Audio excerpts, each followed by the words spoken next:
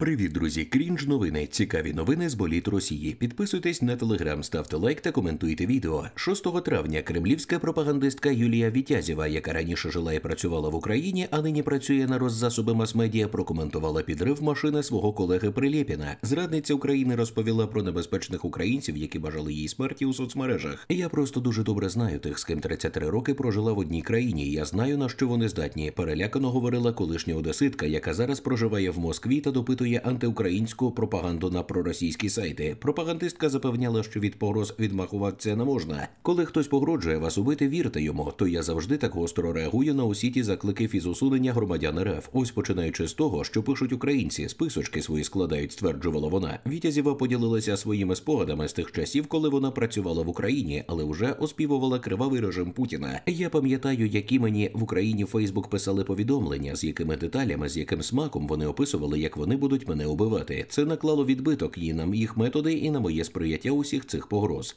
Окрім того, Вітязєво поскаржилися, що в інфопросторі усе наелектризовано до такої міри, що якщо піднести сірник, загориться, і понарікала, що неназвані нею сили хочуть влаштувати в РФ революцію в той час, коли йде війна. Додамо, в Росії 6 травня було скоєно замах на кремлівського пропагандиста і письменника Прилєпіна. Автомобіль, у якому перебував Прилєпін, був підірваний біля Нижнього Новгорода. Унаслідок вибуху Прилєпін отримав поранення. У нього ймовірно важкі переломи або навіть травматична ампутація обох ніг. Його забрали до лікарні медичним гелікоптером. Ну і наостанок додамо, що таке солодке та запальне життя чекає кожного пропагандиста та колаборанта. На цьому в мене все. Підписуйтесь на канал і ставте лайк.